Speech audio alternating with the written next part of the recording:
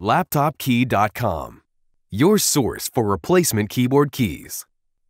Notice Many times, laptop manufacturers produce keyboards that look the same on the outside, but have different retainer clips underneath the keys. To help you find the correct repair video for your keyboard, we've created a searchable database. Simply go to laptopkey.com, enter your laptop brand and model number, Scroll down to the bottom of the page and click on View Videos. A list of all compatible videos will appear. Select the retainer clip model that matches your keyboard. That's all. You're now ready to repair your laptop keyboard. For this keyboard, we will be showing the removal and reattachment of the J key for standard size keys, Shift for the wide set keys, and F12 for the top row small keys. To remove your standard size keys, insert a tool under the upper right corner Apply gentle upward pressure to both sides and the keycap will be removed. To remove the retainer clips, support the bottom of the clip with your finger, insert a tool under the upper right corner, apply gentle upward pressure, repeat with the upper left corner, and the clip will be removed. To reassemble your clips, we'll begin with the top clip, which has two thin holes and a flattened edge at the bottom, and for the bottom clip, there are two divots and an upward facing notch at the top.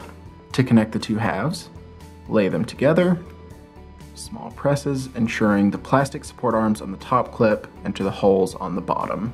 Then, using metal hooks here, here, here, and here, we will lay the clip down, bottom first, pressing slightly on the upper corners, replace the keycap, a firm press, and we are functional. To remove your wide set keys, insert a tool under the upper right corner, gentle upward pressure around either corner, go around the edge to disconnect from the metal support arms, and the keycap is removed. To remove the metal support arms, simply lift Push one end to the side, repeat with the other end, and it is removed. Repeat with the opposite arm, push, push, and it's out. To remove the retainer clips, support the bottom of the clip with your finger, insert your tool under the side and run upwards under the corners till the clip is removed. To reassemble your clips, we'll begin with the top clip, which has two holes at the bottom and two support arms at the top. For the bottom clip, there are two holes and a divot at the top. Connect the two halves together by lining them up, pressing firmly to insert the arms from the top into the holes of the bottom. Then, using metal hooks here, here, here, and here, we will place the clip down, bottom first, hook at the bottom, press on the two top corners, Replace the metal arms using holes here, here, here, and here, using the top set of holes for the top clip, inserting and laying flat,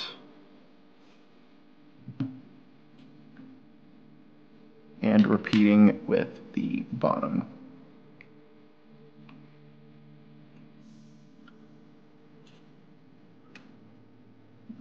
flat. Then take your keycap, place on top of everything with a firm press, all the edges in the center, and we're functional. To remove the top row keys, insert your tool under the upper right corner, apply gentle upward pressure, repeat from the bottom if necessary, and the key will be removed. To remove the retainer clips, support the bottom of the clip with your finger, insert your tool under the side, Apply gentle upward pressure to the top right and left corners. And the clip is removed. To reassemble your clips, we'll begin with the top clip, which has two holes at the top and two support arms at the bottom.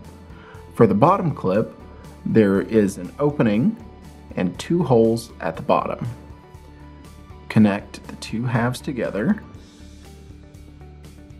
making sure the support arms from the top go into the holes on the bottom.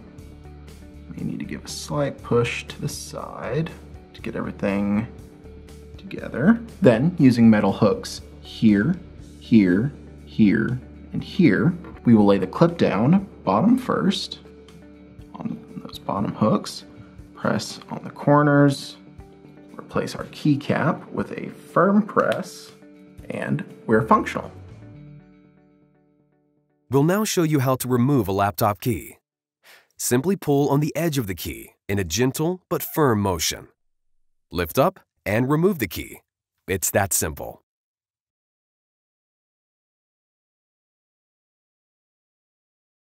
If your key is loose and not sticking properly to your keyboard, your retainer clips are likely broken. This issue can be fixed by replacing your retainer clips. Replacement laptop keys and retainer clips can be purchased at laptopkey.com. Laptopkey.com, your source for replacement keyboard keys.